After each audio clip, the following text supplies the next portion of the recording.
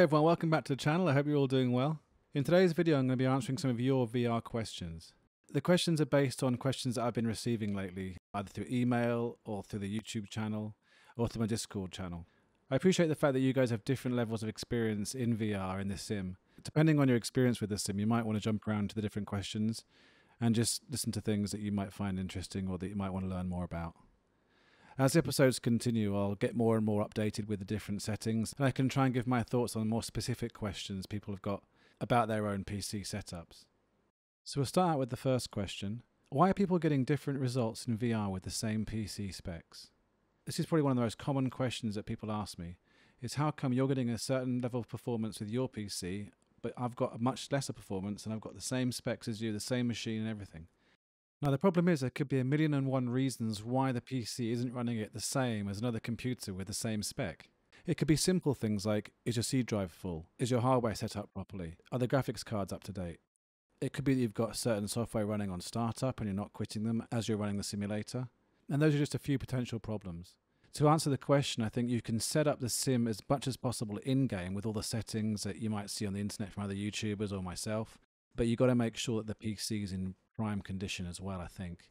I also think that simple fix is like the way you start the sim up, the order you do things in with the VR and the sim, especially with the Quest 2, I found that. But recently, both headsets, the Reverb G2 and the Quest 2 that I've got, work almost seamlessly. I think it's because the software has been optimized much better than it was.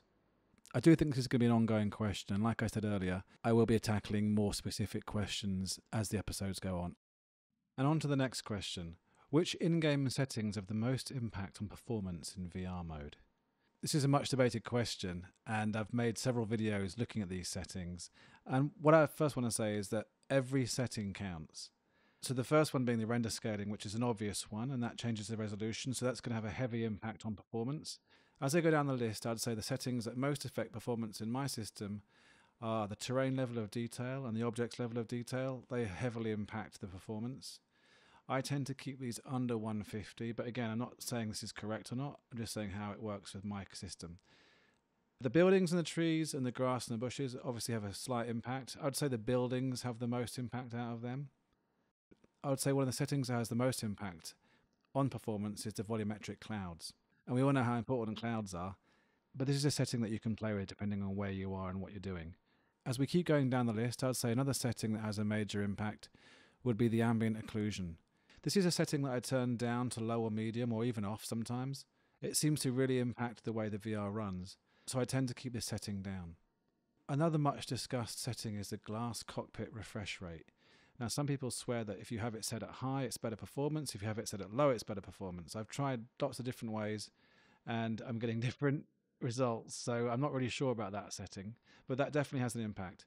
But what's more important, I think, to think about is not just the individual settings, but actually the combinations of settings. That's how I'm finding that I'm dialing in properly with mine, is that I'm thinking about settings that work with each other. So if I've got volumetric cloud set at ultra, I'm going to pull down the ambient occlusion to off and try and balance it out. And again, I know it's very technical and almost a bit boring to talking about settings all the time, but I think it's important that if people really want to know how to dial in their settings, that they actually understand that settings are balance. Okay, it's all about getting a balance of performance and visuals. So those are some ideas for the in-game settings. But again, definitely try balancing the different settings.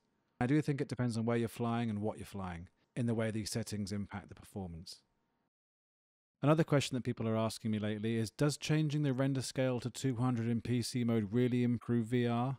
Now, this is really a hotly debated question. You may have seen my previous videos about this, and some other YouTubers have covered it too the official forum is full of people's feedback. So if some people are getting extreme changes in visuals, things are much more clear and vivid, and other people are reporting no changes whatsoever.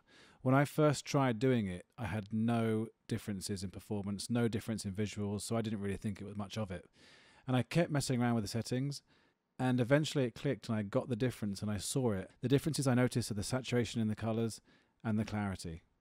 Although I don't have a definitive answer for this, I do believe there is some kind of connection between the PC settings and the VR settings. And I think some people's PCs are just picking up the different settings in a different way. Again, I don't understand it and it's beyond my knowledge. Um, but all I can say is that I witnessed it and I continue to witness it in VR. I've tried doing VR in the lens shots to try and make videos to show you, but it just doesn't, I can't see the difference in that when you're doing it through the actual camera. I'm still trying to think of ways to show this. You can see some clear footage of this as well on the VR Pilots channel, as he made a good video about it. And now for our final question for today's episode. Do you think Sim Update 5 will improve performance for VR users? My answer to that would be I hope so. But generally speaking, I do believe it will have a good impact on the VR performance, as the development team did say in the latest update. However, the amount of performance improvement remains to be seen.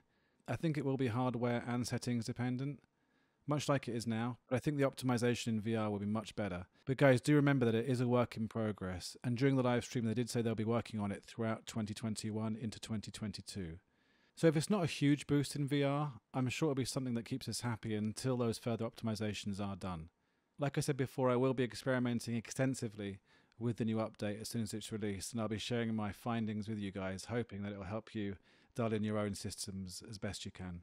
Anyway, guys, that's it for the first episode. I hope you find that helpful. I'll continue with episode two with more updated questions. Just want to say thanks for answering the questions and the polls in the community tab. It's really helpful to make these videos. So we'll be looking at that feedback and making more specific solutions to people's problems, and hopefully that will help others as well.